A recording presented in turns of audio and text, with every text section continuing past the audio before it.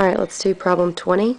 So for our first um, term in our answer, in our root, we're going to just take the root of this first term. 4x to the 6th, the root of that is 2x cubed.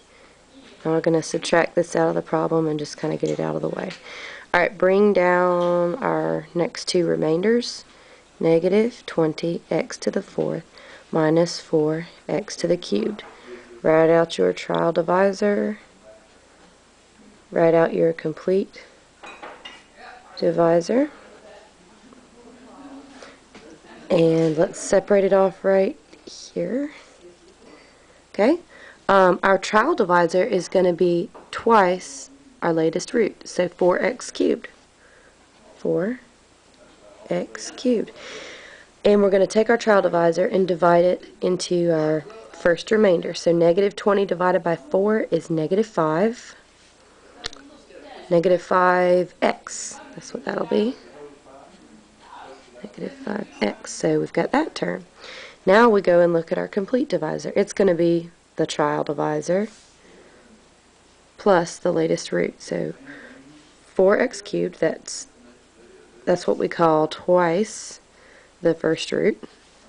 4x cubed minus 5x. Okay, and that's our complete divisor. Now, to check our work here, we um well, I'm not really sure what the y is, but this is how this is what's next with Abeka's process. Um, negative 5x times 4x cubed is going to be negative 20x to the fourth, and negative 5x times negative 5x is positive 25x squared. All right, this is a little bit of a different situation where you can't actually add these last two. Yes, when we when we subtract, that's going to be a positive and that's a negative. So these will cancel. We're good with that. But I wanted to show you this problem because it's a good example of um, how you're going to add these two, which basically you're not because you can't add unlike terms.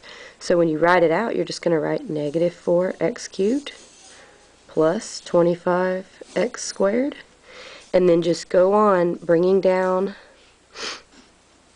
your numbers like you've always done. And we're going to go ahead and bring down all three of these because you can see right here when you bring down this negative 25x squared, look at that. That will cancel with it because they will just cancel each other out. Um, and then you let's bring down our plus 10x and our plus 1. And let's just